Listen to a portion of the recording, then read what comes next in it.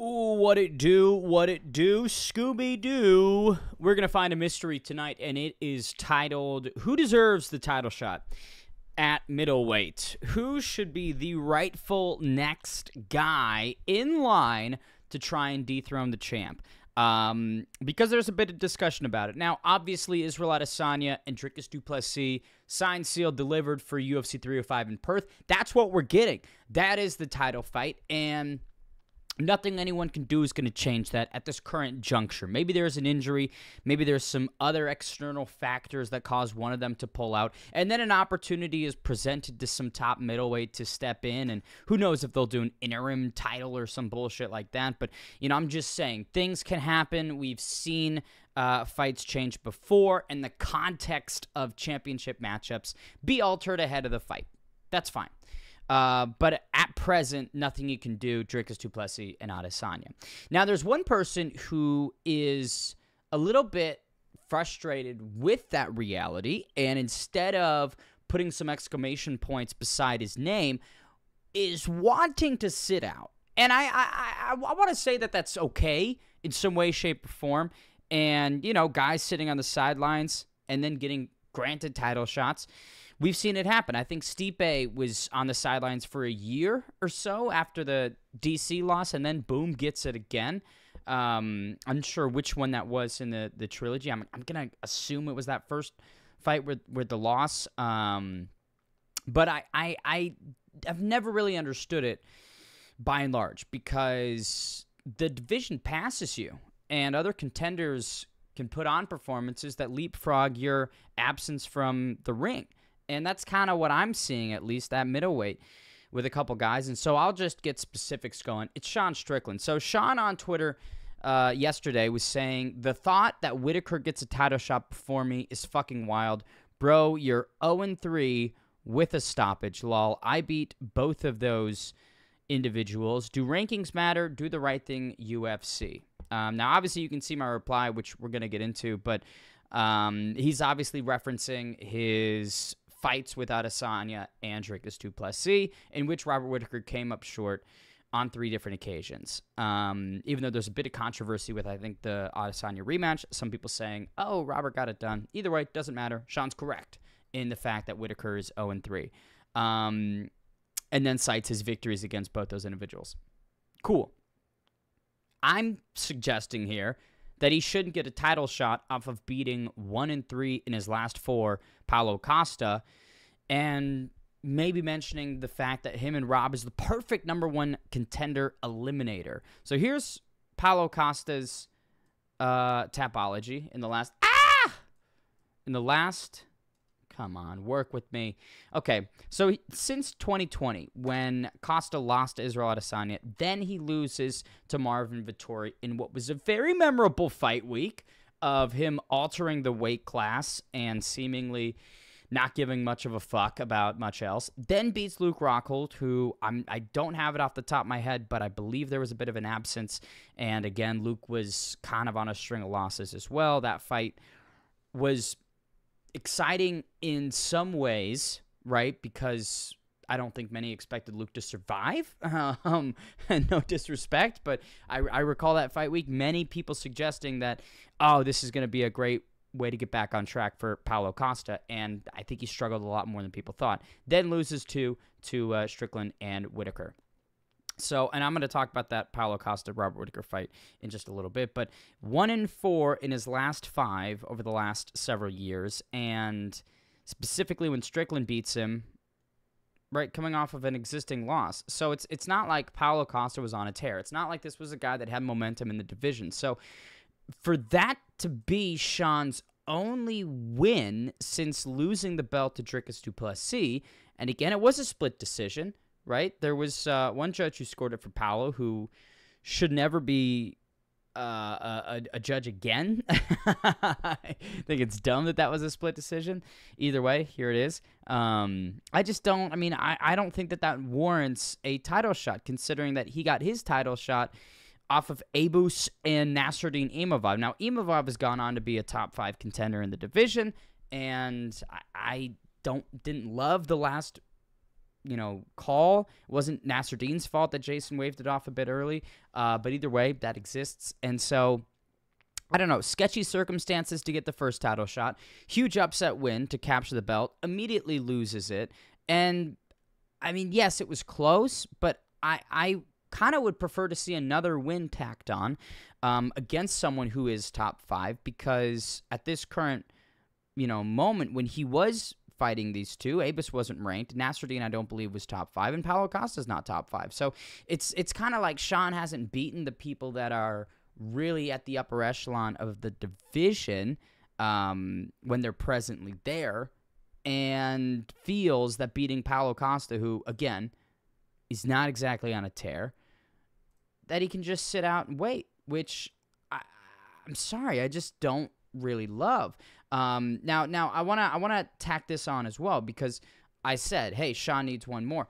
So does Whittaker, in my opinion. So does Whittaker, given the fact that yes, he is 0 3 against Adesanya and DDP combined. Um, but I mean, he beat Paulo Costa four months before Sean Strickland did it and then goes and smokes Ikram Aliskerov, who, yes, took it on very short notice, uh, but was undefeated, had a lot of hype, and uh, it didn't matter. One minute and 50 seconds was all that Whittaker needed. That's a very impressive performance. Hell, kind of reminds me of the impressive performance that Sean Strickland had against another unranked guy that got pole vaulted into a position.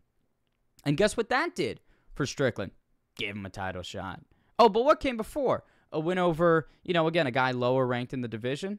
What came before? A win over a guy lower ranked in the division. So like it's kind of it's kind of funny for Strickland to you know shit on Whittaker for his past results when at present Whittaker's kind of done exactly what Strickland did to get a title shot. like, you know, I, I, I'm sorry, but there's a lot of parallels here, and I'm not suggesting Whittaker deserves one. That's not what I'm saying at all. Uh, but I'm, I'm simply saying that we have the clearest number one contender matchup uh, in a while. I mean, Whittaker and Strickland fighting to me solidifies the next person up, and they ha- they should because I don't want to say they have to. I was about to about to have a verbal slip up, um, but no, I, I I truly believe that they should because again, reality is Adesanya and Dricus are fighting in August. I imagine that there's going to be a three month, you know, four month, potentially five or six months on the shelf for whoever wins that fight. And so the belt's not going to be up for grabs until quarter two of 2025. I mean, Strickland, do you really want to wait that long? Do you really want to wait that long? Especially, you know, when that gives Robert Whittaker the time to tack on another win. You know, let's say Whittaker goes out there and beats up Nasruddin Imavov, a guy who's on a tear in the division, a guy who is highly touted at number four in the middleweight rankings. If Whittaker does that, and he's on a three fight win streak of top 15 names, knocks out a, a dark horse in his main event, then goes and beats up Nasruddin. That's kind of hard to deny. And that would leapfrog Sean Strickland's decision over Paulo Costa, uh, who again Robert Whittaker beat him months prior. I, I'm sorry, gang. I mean, am I speaking some insanity? Am I speaking some lunacy? Um, which again is is kind of like what the response was to my tweet. So let's head back over to that territory and bring it all back up. So, um, yeah, but Whittaker deserves it off beating an unranked zero good wins Aliskerov and after losing to Dricus and getting finished, which is a weird misunderstanding. Rob's the perfect number one contender fight, which is my implication that no, what Whittaker did is not enough. I feel like that's pretty obvious. Uh, you versus Rob is the perfect number one contender eliminator. That goes without saying that I feel Rob needs to do a little bit more. Uh, but okay, I mean, reading comprehension is not a strong suit of many people on Twitter. No worries, no worries. Um, this this other one right here addresses, you know. Israel Adesanya getting the shot at Dricus for what? Lost the title, won it back, lost again, doesn't have to fight anybody to get another shot. Meanwhile, Sean loses his belt and has to fight multiple times now. So that's equating Israel Adesanya and Sean Strickland and, and putting them on the same platform in all ways, shapes, and forms. And I disagree with that wholeheartedly. Now, no disrespect. And I want to, at the outset of this point, state that Israel Adesanya, sitting on the sidelines since September of 2023, and then getting this title shot, um, you know, 12 months later against DDP, I'm, I don't love it. I don't love it. I wish that Adesanya had a bounce back performance, and then this would have been a little bit more warranted. Um, but but what I want to remind people of is that this guy has headlined, I think, eleven pay per views. Right? He lapped the division since he beat Kelvin Gastelum in 2019. It's been nothing but activity and main events on top of uh, main events. Now, yes, does he have some losses sprinkled in there when he went up against Jan Blachowicz, lost that undefeated record, sure. Then Alex Pereira, who TKO'd him in round five, what, what fantastic fight. Um, got the bounce back win, right? And then drops the belt to Sean Strickland immediately.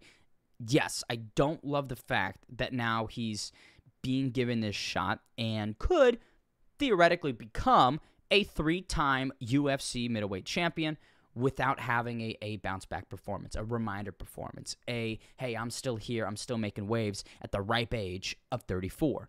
Um, but but I also weigh what he's done in the division. And I mean, we've seen instances like this occur before. Let me remind you, George St. Pierre uh, came off the shelf, what, four years? I think he was retired, and then beat up Michael Bisping and got a championship and then, you know, then walked off into the sunset. People seem to love that. People seem to really cherish that. Now, Adesanya and GSP are in different levels of accomplishment and and I would say prestige uh, with what they they've done in their careers. I'm not saying that they're on the same playing field. But what I would say is that Israel Adesanya and George St. Pierre is a hell of a lot closer than Sean Strickland and Israel Adesanya. Again, congrats to Sean on winning that belt against Izzy, but I I look at what he's accomplished at middleweight, and um, I just feel that there's a little bit more that he could do. Uh, you know what I'm saying? And yes, did he headline a pay per view against Adesanya for sure? Uh, did he headline a pay per view against Dricus Du Plessis for sure? Those are great, uh, you know, events. But that's still, I believe, nine pay per views less than Israel Adesanya. Is me even mentioning pay per view main events a worthwhile factor? Maybe not. And maybe you disagree. And maybe you have a different point. And I'd love to hear it. Let me know down below. I feel like Paulo Costa, or excuse me, not Paulo Costa, uh, Robert Whittaker and Sean Strickland is a it's a no brainer. It's a no brainer. Book that fight for you know, MSG in November or, or, or, earlier. Hell, maybe even put it on the same card, right? Maybe put them as the co-main. Uh, or something like that. Who knows? Uh, I, I, think that's a little bit early, too too early, or excuse me, too late. You know, we're in July and the event's next month, so they probably can't. And Sean Strickland obviously doesn't want to.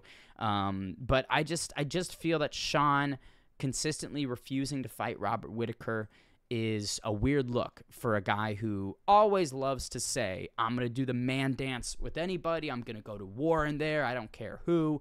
Um, but, you know, when now we've arrived at the perfect number one contender fight, it's no, fuck that guy. I'm going to sit out for my title shot. And that sentiment just doesn't agree with me.